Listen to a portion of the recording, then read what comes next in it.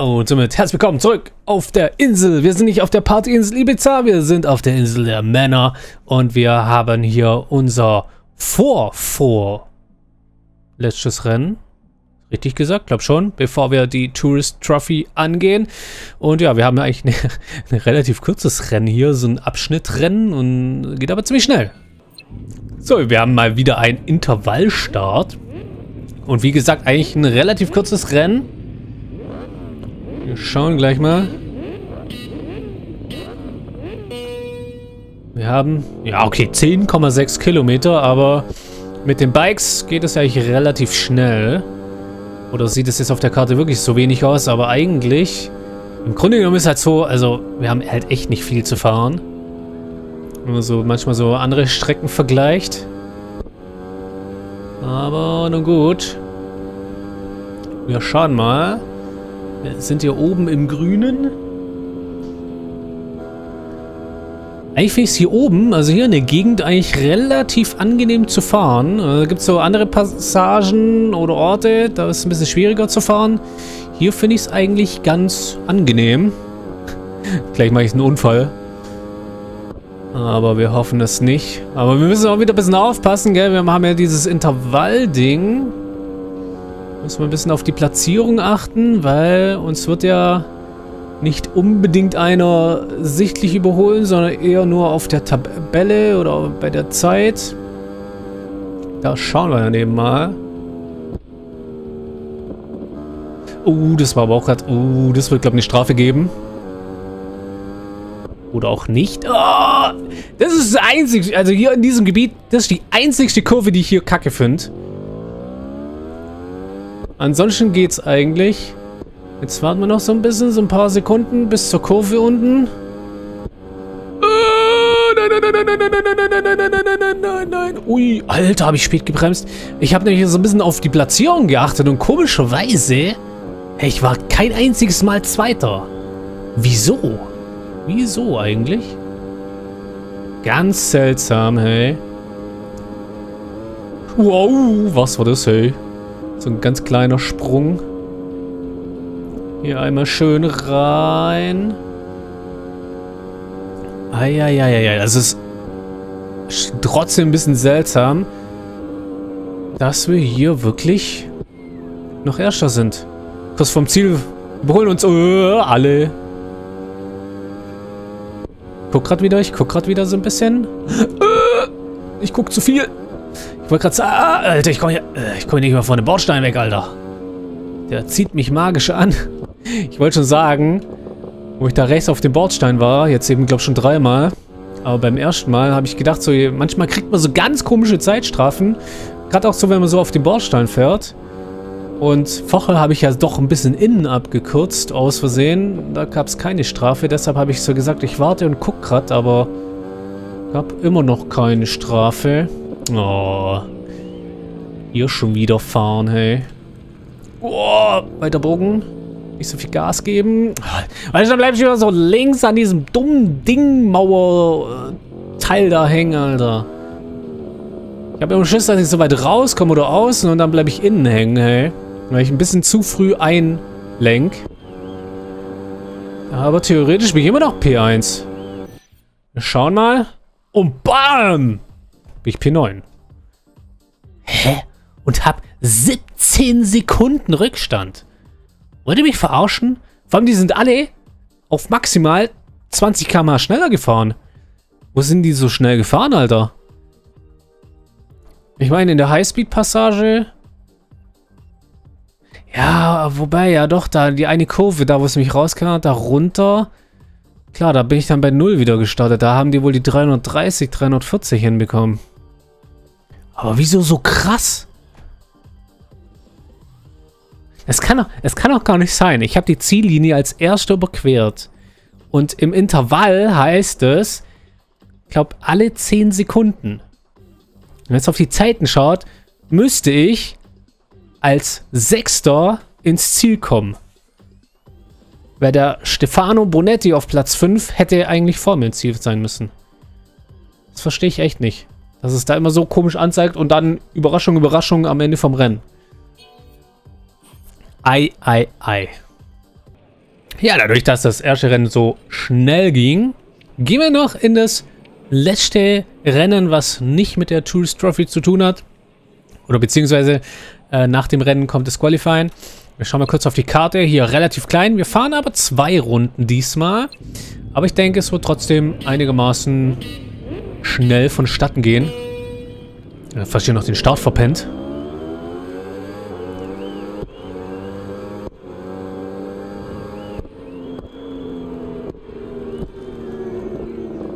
So, ein bisschen früh gebremst. Ich denke mir ja manchmal immer so, dass ich zu spät bremse, aber nö, geht eigentlich ganz gut. Ich glaube, jeder ist gut durch die Kurve durchgekommen.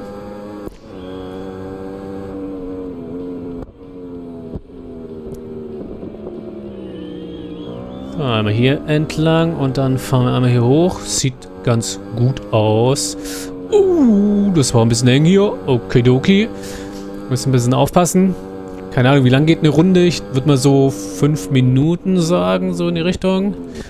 Äh, Alter, wie lange ich auf der Brücke? Was? Okay, wir bleiben auf dem Bike.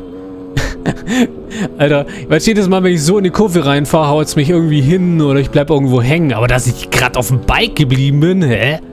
Okay. Sehr seltsam. Dass das keinen Sturz gab.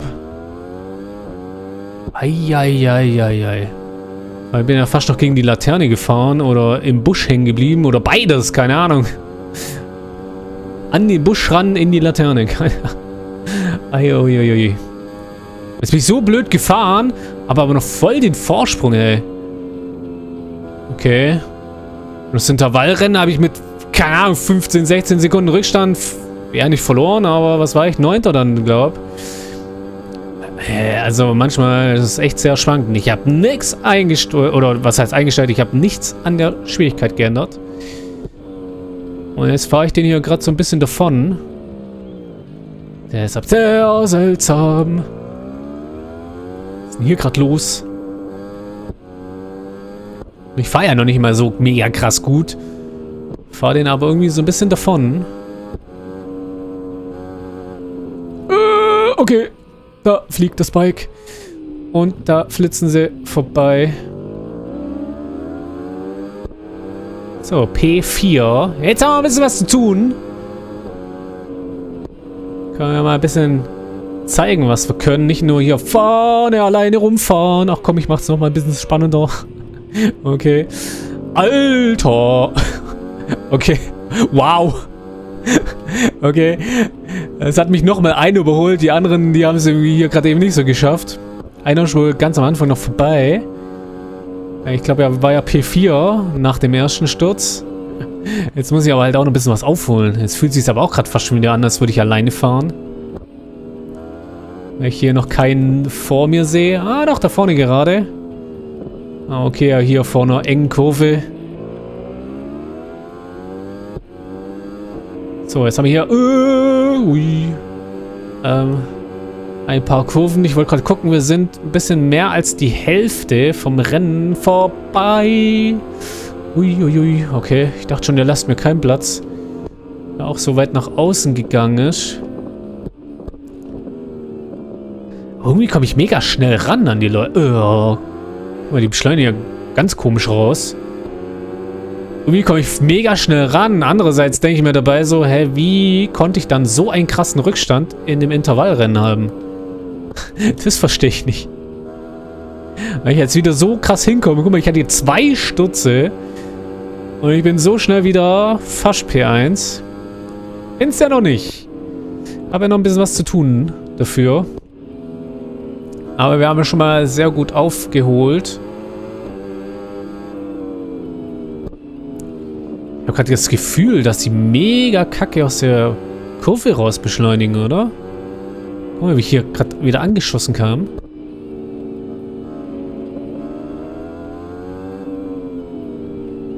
Sehr seltsam. Wow! Okay, okay, okay, okay, okay. Okay, jetzt habe ich selber Kacke raus beschleunigt. Die Kurve auch ganz klar. Uh, wo habe ich jetzt eine Zeitstrafe bekommen? Habe ich die schon länger? Die Zeitstrafe oder kam die gerade eben erst so? Kann das sein, die habe ich bekommen, wo ich da auf dem, äh, toll, auf dem Gehweg war, wo ich diese Lampe fast noch umgefahren habe und in fast den Busch rein bin? Aber da habe ich die ja schon so fast von Anfang an. Oh, da hat sein hingelegt. Was kann der eigentlich? Sagt er nach seinem dritten Sturz. Und wieder P4. Die 4, die, die, die irgendwie, keine Ahnung, die verfolgt mich hier. Äh, Bordstein.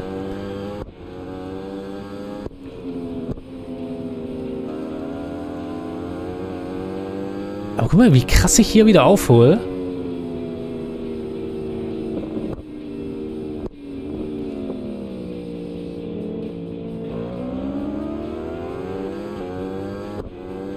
Oh, Alter, wie langsam der ist. Wieso sind die so teilweise so, uh, langsam, bisschen spät? Nee, geht noch, geht noch, geht noch. Bisschen spät gebremst, dachte ich. Die sind teilweise so mega langsam und das irritiert mich halt wegen dem Intervall, wo sie dann doch irgendwie so schnell waren.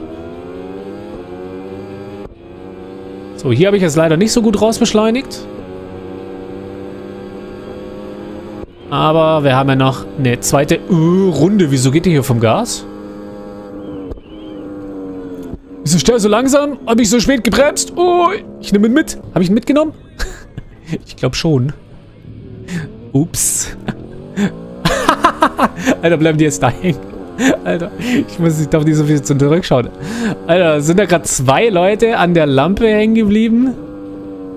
Bin mir ganz ein bisschen unsicher. Ja, es war jetzt ein bisschen unfair, hier P1 hier mit ins Verderben zu nehmen, aber ein bisschen Spaß darf man doch mal haben, oder? Meine, wenn man jetzt hier eine schöne Runde fährt, dann wäre ich da locker, äh, hätte ich die dann locker noch reingeholt. Äh, war das jetzt ja auch jetzt nicht so unfair. Aber wie die anderen da noch hängen geblieben sind, ey. Da lagen ja, glaub, zwei sogar. Oder einer lag, glaub, und der zweite ist gerade in dem Moment, wo ich nach hinten geschaut habe, ist gegen die Laterne gefahren. Und an der Laterne lag ja noch ein Bike. Wenn ich das so in der Schnelle so richtig gesehen habe.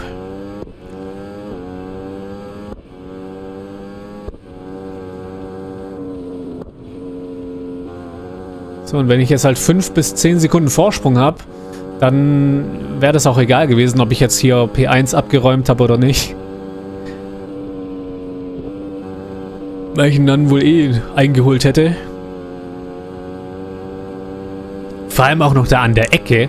Also da fährt man ja auch dann aus der Kurve raus relativ langsam. Also verliert man auch nicht so viel an Zeit. Wenn es mich jetzt hier hinhaut, hier mit 300 und ich dann natürlich hier bei 0 km/h wieder anfange loszufahren, da verliert man halt natürlich mega Zeit. Aber hier an so einer 90-Grad-Kurve verliert man nicht viel. Ja, vielleicht dann so 5 Sekunden. Auf einer Geraden wäre es dann natürlich ein bisschen schlimmer.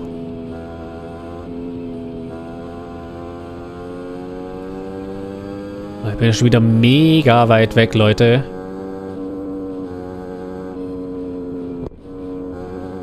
Ui. Aufpassen. Jetzt kommen hier wieder so ein bisschen kurvige Passagen.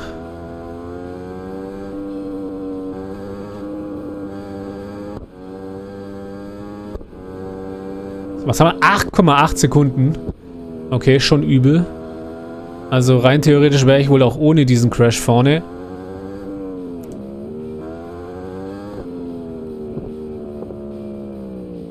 Also ohne den Crash des Gegners, dass ich den vom Bike hau. So rum natürlich gemeint.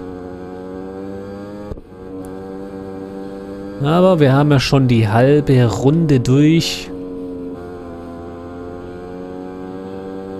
Zeitstrafen gab es auch keine mehr.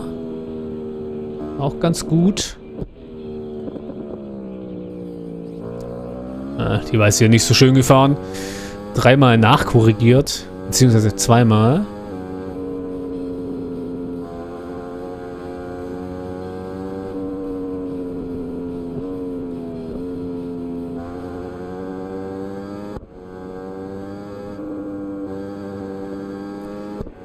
So, mich würde es halt mal interessieren, wie weit die weg sind. Also klar, wir haben vorher die Zeit gesehen, aber so rein so sichtlich. Schon immer ganz cool, wenn man sie auf der Minimap sieht, aber dafür sind sie halt ein bisschen zu langsam, komischerweise. Ich weiß es nicht, wieso sind die so langsam? Soll ich da noch irgendwie hier mega Herausforderungen machen im letzten Rennen? 100%? Ich denke mal, bei, der, bei den Superbikes fahren wir, fahren wir wohl auch vier Runden, oder? Da haben wir dann so viele Möglichkeiten, da wieder aufzuholen. Also könnten wir vielleicht schon auf 100% fahren. Ich bin ja auch mal kurzzeitig 100% gefahren, habt ja auch Rennen gewonnen, also... Und dann teilweise halt wieder nicht, also irgendwie schwankt das halt auch so ein bisschen.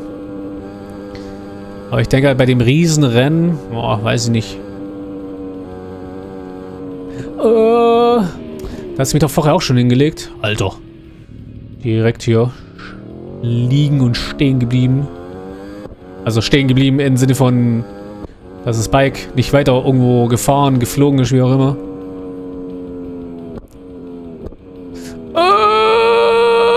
Okay, da wollte ich ein bisschen später auf die Bremse gehen.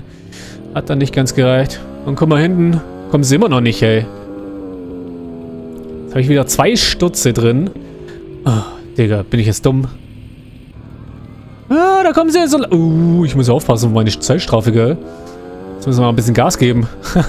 Am Schluss ist ja so eine halbe Sekunde hinter mir. Und ich habe noch meine Strafe im Petto. Oh, oh, oh. Jetzt aber Gas geben.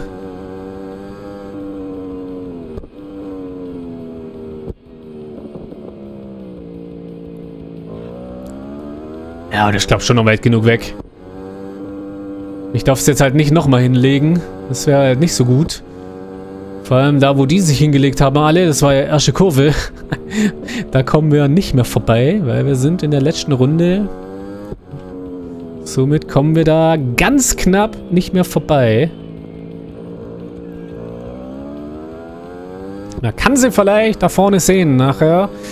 Obwohl, ja, glaube nicht so ganz bei der Ziellinie. Aber ich glaube weit genug weg hier. Am Ende wieder 10 Sekunden Abstand. Als ob das 10 Sekunden waren. Also 3, 4, vielleicht 5 Sekunden, aber 10. Schon viel, Leute. Ist wirklich viel. Aber na gut, ich würde mal sagen, ich bedanke mich fürs Einschalten. Wir sehen uns beim nächsten und somit dann noch letzten Part. Hoffentlich wieder bis dahin wieder schauen und reingehauen.